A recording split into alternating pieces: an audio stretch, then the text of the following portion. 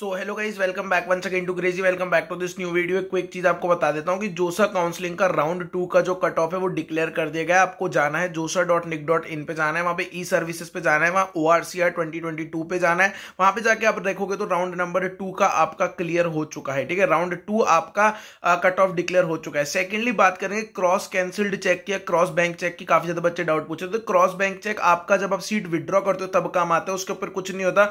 जितना आपने amount submit किया है, ठीक है? उतना अमाउंट लिख के और उस पर कैंसिल की एक लाइन बना के आपको देनी होती है और वो कब काम आता है? जब आप सीट विड्रॉ करते हो तो आपके अकाउंट में रिफंड लेने के लिए काम आता है। तो क्या भैया जिस अकाउंट से फ़ीस पे करिएगा क्रॉस बैंक जो भी क्रॉस बैंक चेक है कैंसिल्ड बैंक चेक है, वो उसी अकाउंट का देना है। नहीं, किसी भी अकाउंट का दे सकते हो, वो जस्ट एक प्रोसेस है, उससे आपको पता, उस वो मतलब एक तरीका है कि आप कौन से बैंक अकाउंट में रिफंड लेना चाहते हो। तो आप क्रॉस बैंक चेक या कैंसिल्ड बैंक चेक आप किसी भी बैंक का दे सकते हो, ज़रूरी नहीं है जिस बैंक अकाउंट से आपने फ़ीस पे करी है, उसी बैंक अकाउंट का तो आप किसी और बैंक अकाउंट का भी दे सकते हो। बस जिस बैंक अकाउंट का चेक दोगे, आपका फ़ी रिफंड उसी के अंदर आएगा। तो क्रॉस बैंक चेक को लेकर काफ़ी ज़्यादा डाउट्स आ रहे थे। वो डाउट्स मैंने क्लियर कर दिए। बस यही होता क्या है बैंक का मतलब चेक होता है चेक के ऊपर अमाउंट लिखा होता है जो आपको मिले रिफंड मिलेगा जोसा की वेबसाइट से, और उसके ऊपर कैंसिल लिखा होता है ऐसे क्रॉस में।